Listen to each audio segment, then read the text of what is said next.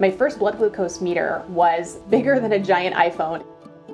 I would have to test my blood sugar manually up to 12 or 14 times a day. You don't have a choice. You have to give yourself insulin on a daily basis to stay alive. Diabetes came into our lives like an unwelcome guest. At the time, there was no way to see blood sugar remotely. And I remember thinking to myself, why aren't there better tools to help us get access to data? And why aren't there great open source solutions for diabetes data like there are for lots of other things?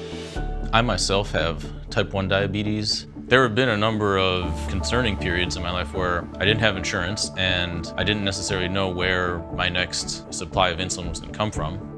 Life and death medications should not have a profit motive behind them. You have certain pumps or CGMs or blood glucose meters or even the type of insulin. In some cases, it's basically told to you by the insurance company or the governmental insurance program about what tools you're able to access. And so the community's vision is for interoperability and choice among these devices well, Open Insulin's purpose is to create a set of open source technologies to manufacture insulin. Nothing quite like it has really been done at the scale we're envisioning in the world of medicine. Open source software is at the heart of everything we do at Tidepool.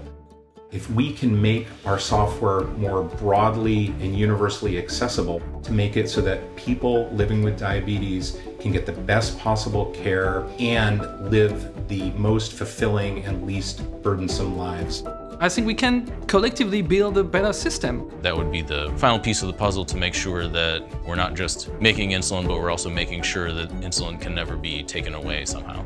We're all part of one big, huge do-it-yourself diabetes community. So there's always innovation happening. It's all in service of the public good.